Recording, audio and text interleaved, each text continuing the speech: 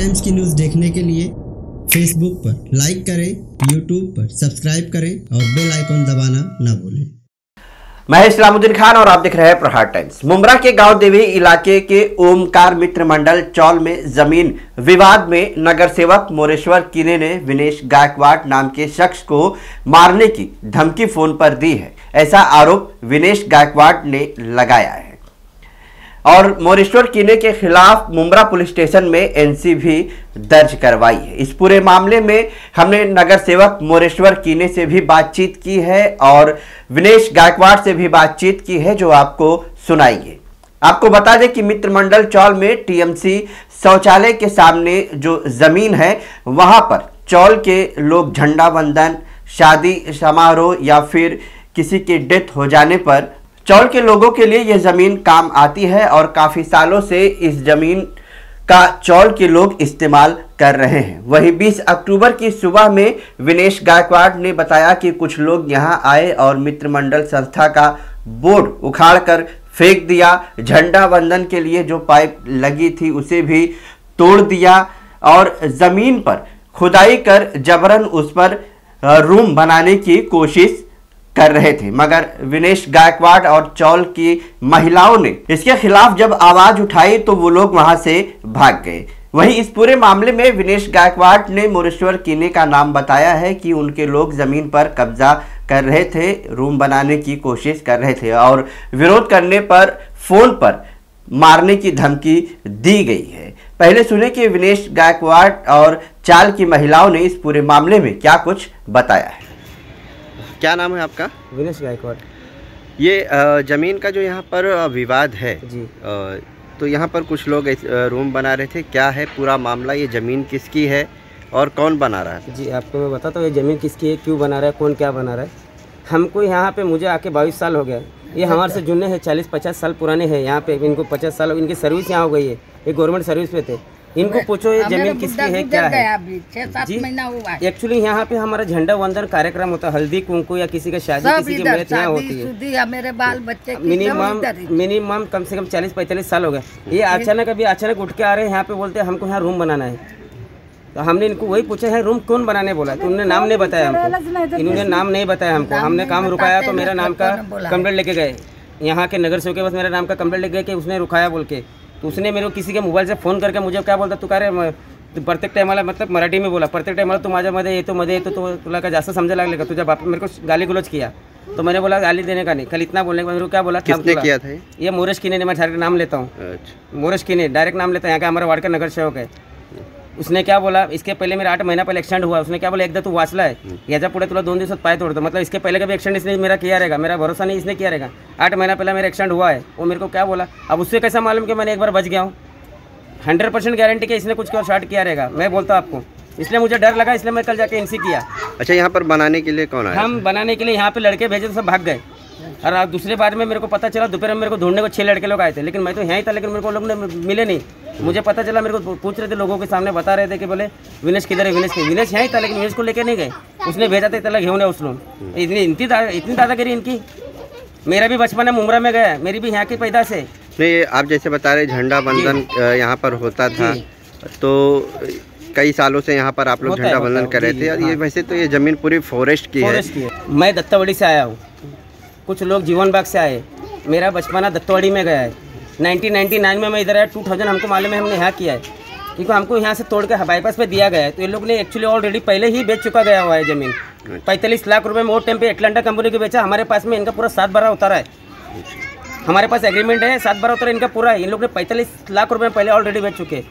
ये अभी सोच रहे कि हमको सब नहीं। उसी टाइम बोला गया था कि हमारे दस पंद्रह घर है झोपड़पट्टी आदिवासी के घर है। उसके बाद हमारा लेना देना नहीं है। या आज भी अच्छा ये बाईपास जब बना था उस हाँ, वक्त इन्होंने पे बाईपास में हाँ वो टाइम पे।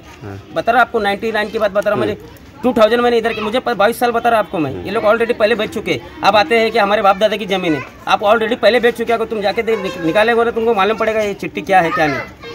यहाँ पे गुरु संस्था की गवर्नमेंट की जो भी थी संस्था की जो हमको अभी अभी मालूम पड़ रहा है वो टाइम पे हमको समझ नहीं थी अब समझ आ गई। यानी कि ये पूरी ज़मीन जो है यहाँ पर सामने शौचालय भी टीएमसी का बना हुआ है। तो आप लोग यहाँ पर जो है झंडारोहण या कोई कार्यक्रम हुआ ये सब चीज़ें यहाँ पर करते थे। और यहाँ पर अब रूम जो है बनाने की कोशिश की जा रही है इसलिए की जा रही है अब पता नहीं क्यों की जा रही। है आप लोग बीस पैंतालीस साल से जगह पड़े आपको बनाने क्यों नहीं हुआ? अचानक अभी क्यों बनाने को आ रहा है?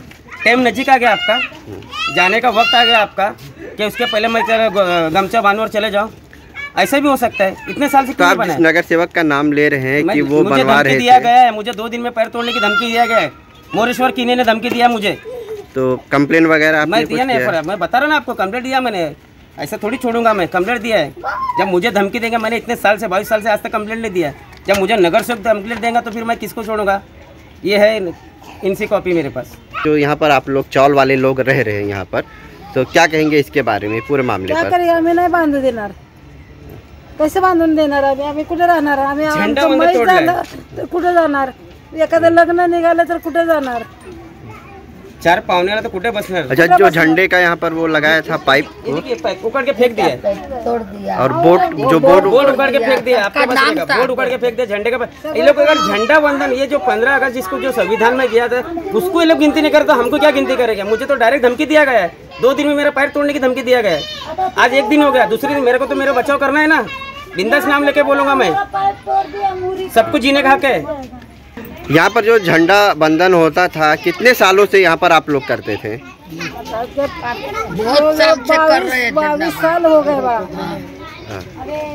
यहाँ पर झंडा बंधन करते हुए। झंडा वंदन करायला जास्त करून जास्त करून बघतच जातात सांगा ना मग तिथे बघतच येते तो भगत सुधीर म्हणजे पूर्ण नाव कोण सांगायचं आता बुद्धी झंडा आहे ना. बंद प्रत्येक वेळेला आम्हाला सगळ्याला सांगते तर चांगल्या आनंदाची गोष्ट बोलून छान जाते सुधीर भगत. सांगायचं ते स्पष्टपैकी सांगायचं. आम्ही सत्कार पण केलेले. सत्कार केलाय ना? सत्कार ना? हो. नहीं अभी झंडा बंधन की बात अलग है लेकिन जो यहाँ पर कब्जा करने की बात आ रही है कि कुछ लोग बनाने के लिए आए थे और इन्हें धमकी भी दी गई है। आम्हाला माहितच नाही बळा काय आम्हाला माहित माहित नाही, नाही. आम्ही आम्ही उठतो बनवून का आम्हाला देणार नाही. कोर्टाच्या घरी मागे जाते, जातोय आम्ही? आम्हाला ही जागा खाली पाहिजे बस. पेट केली आहे जाते. आता उद्या आमच्या लिखी बाळाचं नाते लग्न येणार कुठं बसणार? कुणी मेले मीच मेले. तर मग मैत कुठून नेणार? मैत मानायला किडी बांधायला जागा पाहिजे कुठे पाहिजे बांधणार? का नाही? वहीं इस पूरे मामले में हमने अ, नगर सेवक मोरेश्वर कीने से भी बातचीत की है और मोरेश्वर कीने ने बताया कि ज़मीन हमारी है हमारे पास इसका सात बारह है ज़रूरत पड़ने पर हम दिखाएँगे। साथ ही ये भी बताया कि ज़मीन पर मैंने किसी को भी घर बनाने के लिए नहीं भेजा था और ना ही मैंने विनेश को मारने की फ़ोन पर धमकी दी। मोरेश्वर कीने का कहना है कि मेरे खिलाफ ये राजनीतिक षड्यंत्र किया जा रहा है। इस पूरे मामले में मोरेश्वर कीने ने भी अपना पक्ष क्या रखा है, सुनिए। मोरेश भाई विनेश नाम के युवक ने जो है आप पर आरोप लगाया है कि आप ज़मीन जो है कब्जा करके वहाँ किसी से घर बनवा रहे थे। दरअसल ये पूरा मामला है क्या? देखिए, ये विनेश नाम का लड़का कौन है, मैं उसको जानता भी नहीं, पहली बात तो। और दूसरी बात ये है कि ये टोटली मामला झूठा है। ये एक राजकीय षडयंत्र है। हमारे बाप दादा से लेके वो जगह हमारे, आज भी उसका सात बार हमारे पास है। एक रूम की जगह के लिए हम ऐसा कुछ करें, ये हमारे को शोभा नहीं देता और हम ऐसा करते भी जिन्होंने ये आरोप किया है, विघ्नेश हो या जो भी हो उनको बताओ कि तुम्हारे पास कौन से पेपर है। अगर उनके पास पेपर रहा तो फिर मुझे मुझ पर जो आरोप लगे वो सच होंगे लेकिन मैं टोटली ये आरोप बेबुनियाद है। मेरा ऐसा कुछ भी नहीं इसमें और ना ही कोई विघ्नेश नाम के लड़के को मैं जानता हूँ न कौन है क्या है मुझे इसका पता आपने किसी आपने किसी को भेजा था वहाँ पर घर मैंने कुछ बनाने मैंने किसी को भी नहीं भेजा। कोई मेरा नाम लेके अगर ये सब करता है तो मैं उसके लिए उसको उसको भी मैं छोड़ूँगा नहीं। ये सब मेरा बेबुनियाद मेरे ऊपर ये है आरोप है ये राजकीय षड्यंत्र है मेरे पे। आपने धमकी वगैरह कुछ मारने की दी है उसे? मेरे पास उसका नाम ही नहीं पता उसको कौन है मेरा नंबर ही नहीं तो मैं क्यों धमकी दूँगा उसको? एनसी भी कराया उसने। ऐसा कुछ भी मेरे पास इनसी किया है किसी ने क्या किया मुझे उसका कोई ये नहीं आया। ऐसे जो मेरे पास एक लेडी आई थी उसका पैसा ऐसे नाम के लड़के ने लिया था उसका मेरा बाकायदा रिपोर्ट है। जो लेडी ने मुझे भी आर्जी दी है विघ्नेश गायकवाड़ करके तो मुझे पता नहीं कि ये लड़का मेरे ऊपर क्यों ऐसा ये कर रहा है। ये ये लेडी का एक लाख रुपया लेके उसने खा गया है। किसने खा लिया है? विघ्नेश गायकवाड़ ने। तो उसको वो आज दे ही नहीं रहा। तो वो लेडी मेरे पास आई थी तो मैं बोला मेरे बारे में वो भला बुरा कह रहा था तो मुझे उससे कुछ ये नहीं लेकिन उसने उसका पैसा भी नहीं दिया उसने भी उसके खिलाफ अर्जी किया। आज गुनहगार लोग ही हमारे जैसे मतलब नगर सेवक हमारे कुछ समाज में कुछ ये है, उस हिसाब से हम इमेज है। तो ये लोग हमारे पे आरोप करेंगे तो वो आरोप कितना सच है? इसकी आप जाँच करें। मोरिश भाई उसका विनेश का कहना है कि ज़मीन जो है फॉरेस्ट की है और जो हमारी चाल वाले हैं वो चाल वाले वहाँ पर झंडा बंदन करते थे। वहाँ पर एक संस्था का नाम का कोई बोर्ड लगा था।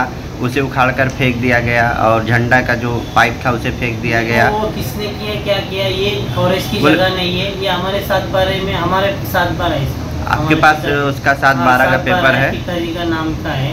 वो अच्छा। चालिया हमने बसाए थे। जो अटलांटा को देने के बाद जगह बची थी वहाँ पे सपकाल सिंधे नाम के लोग रहते थे। उनको चालियों में उस टाइम में हमने फ्री ऑफ़ कॉस्ट में जगह दी। तो ये विघ्नेश करके लड़का कहाँ रहता है? और कहाँ दावा करने आता है, ये तो मुझे कुछ पता नहीं इसमें का।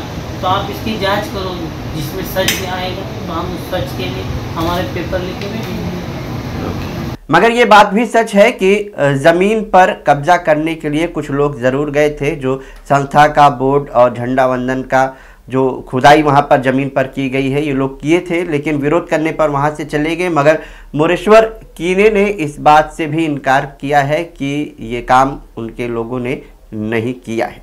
तो तमाम खबरों को जानने के लिए देखते रहिए प्रहार टाइम्स।